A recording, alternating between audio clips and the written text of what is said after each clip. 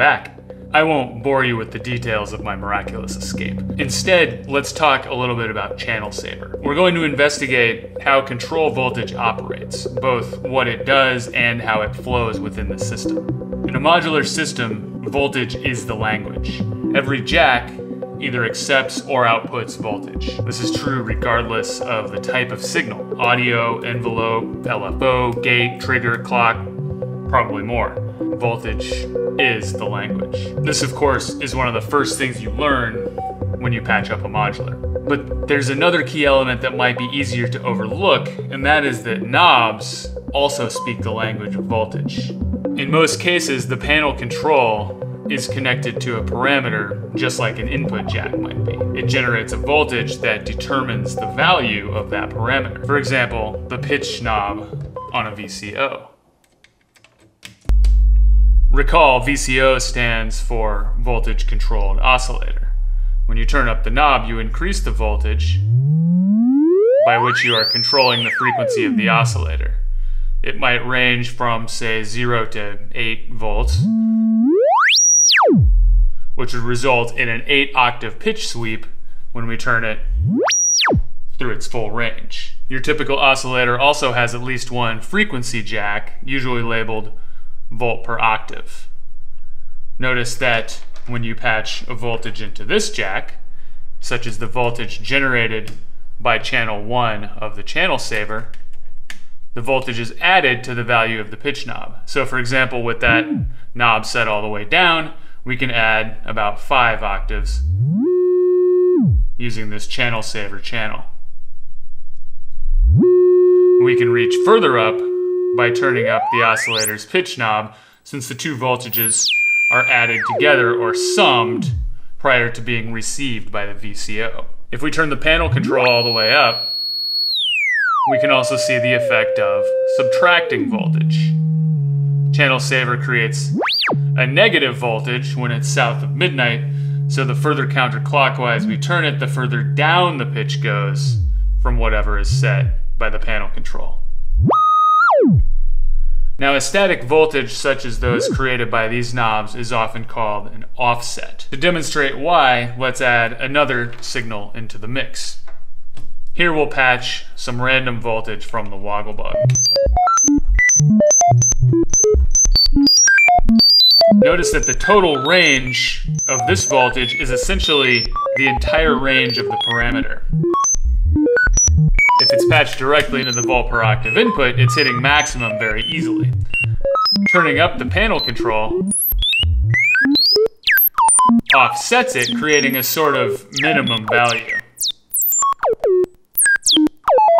For example, if I turn the panel control up to noon, this positive random voltage will never push the oscillator below that noon value since it's positive only and is always added to that knob setting.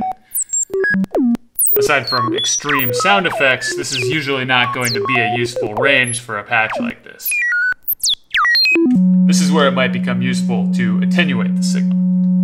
When we patch into Channel Saver's channel 1, the offset is removed from this output, and instead it now passes through the signal that we have patched to it. We use the knob to amplify or attenuate the signal sort of like expanding or contracting it. So now, if we take the channel output through to the VCO, we can hear it at full strength, but we can also now attenuate it, say, decreasing its range from 8 volts to more like 1 or 2 volts, but maintaining the same shape that it had at full amplitude.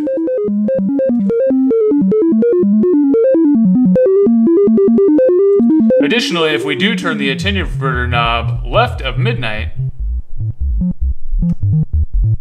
then it will change from positive to negative, inverting it like flipping it upside down. Now we're adding a negative voltage to the value set by the panel control.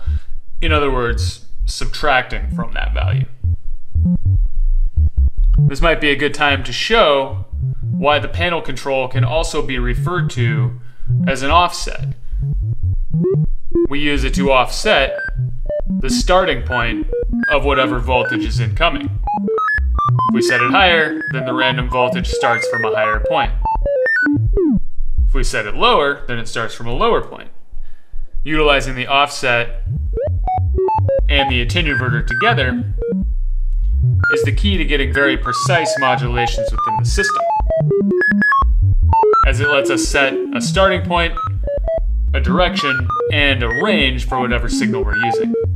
In the make noise system, many parameters have both an offset and an attenuverter included. For example, the frequency control of the QPAS. Anywhere you see two knobs connected to a single CV input jack, it is likely you'll be able to patch up this kind of precise modulation without the need for an additional utility like Channel Saver.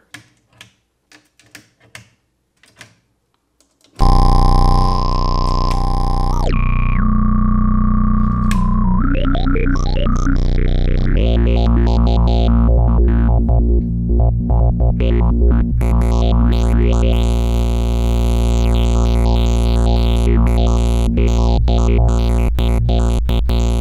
might wonder, why doesn't every single parameter have this setup? There are a number of reasons. Size and cost are one. The more knobs and jacks on your system, the bigger it's going to be, the more it's going to cost.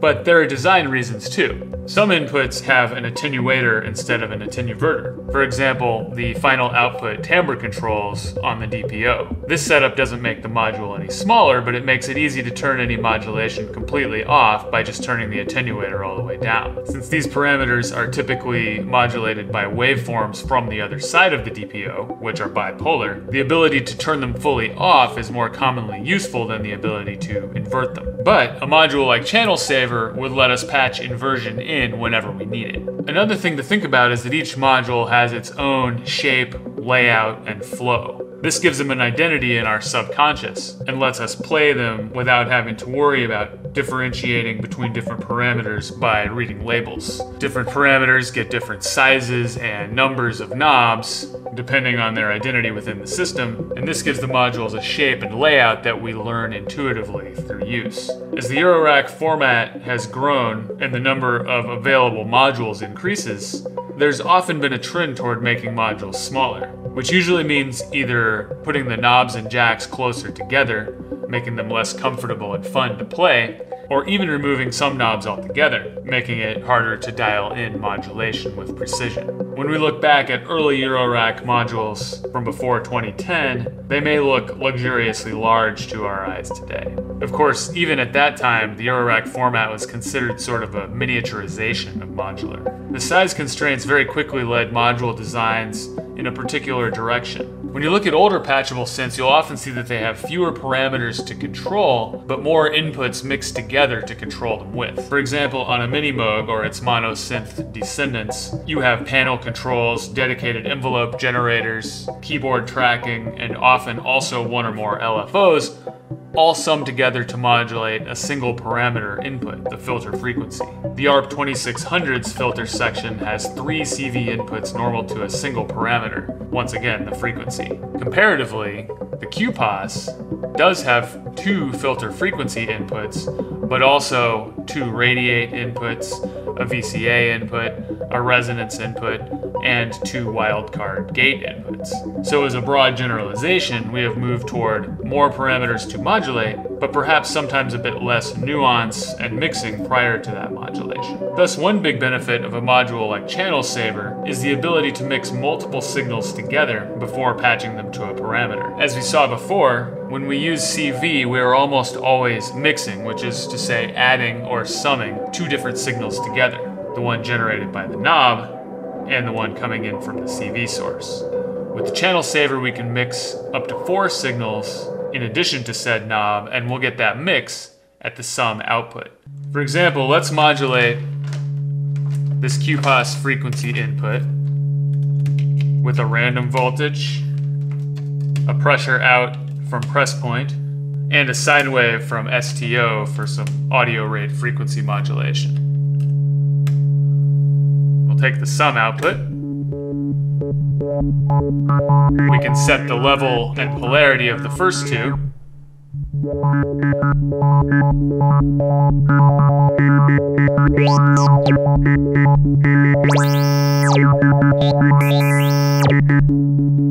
And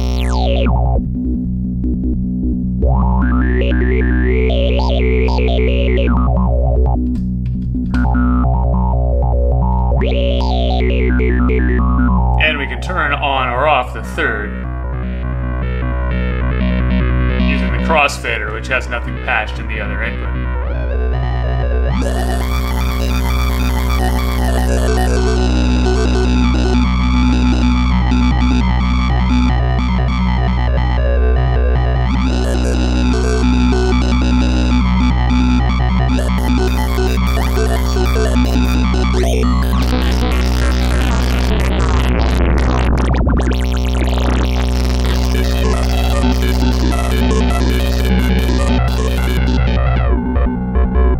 On some Eurorack modules, you may find some CV inputs that do not have any knob associated with them at all. In that case, you could utilize an unpatched channel 1 or 2 to create an offset. This is not something you'll find on Make Noise modules. However, there are some modules where we have just one knob for a CV input instead of two. For example, on the ErbVerb, the pre-delay parameter does not come with an attenuator. Just an input and an offset. The knob offsets the start point and any incoming voltage is added from there.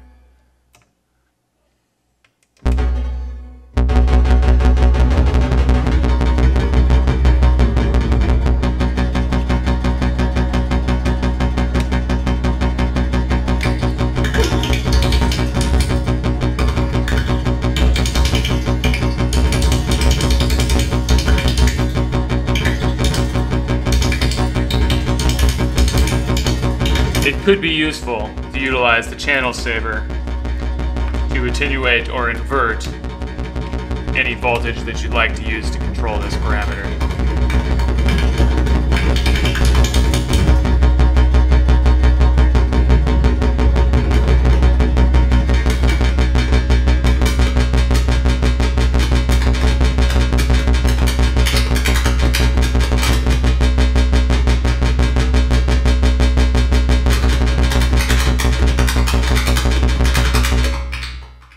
The ErbVerb's mix and the DXG's control parameters are examples of what we call a combo pot.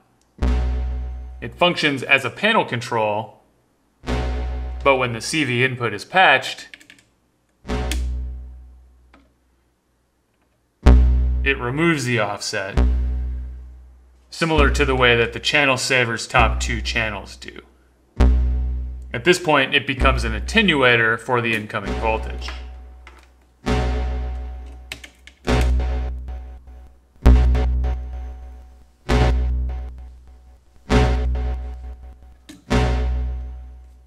Typically, when we include a combo pot, it is on a parameter that would normally be modulated from zero to some higher value by a unipolar voltage. Since the DXG is typically used for note creation, you'll usually patch an envelope and the output will go silent between events. This design gives the DXG a particular shape, size, and patch flow for usefulness and identity within the system.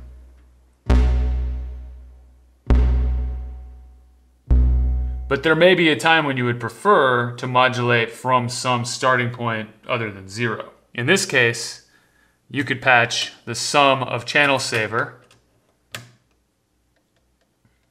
to the CV input, turn up the combo pot, and then use one of the channel offsets to set the starting point. You could patch your other modulation to a different channel.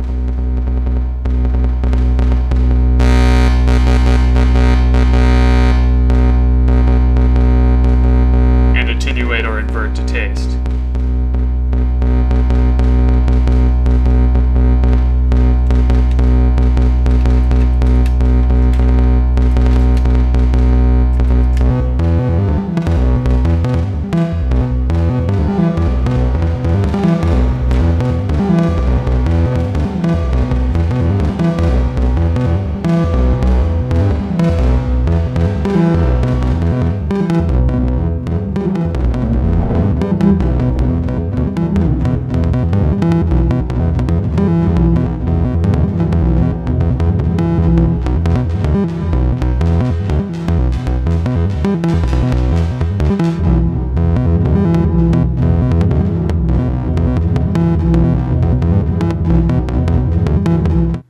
Things we've shown here can of course be done by maths as well with the added benefits of function generation, slew limiting, etc. But the ability to perform these simple functions, such as mixing, inverting, attenuating, and offsetting, is universally useful in a modular synthesizer for anybody who has any interest in expressive musical nuance. In this system, I'm not only running two maths and a channel saver, but also an additional small voltage math circuit in the CV bus, and to date, there's never been a time when I felt like I was wasting space in my system. These concepts and patches are useful no matter what types of voltage and audio generators and processors you might be using. Voltage is the language, and the maths family of control voltage utility modules are the punctuation, the phrasing, the vocabulary.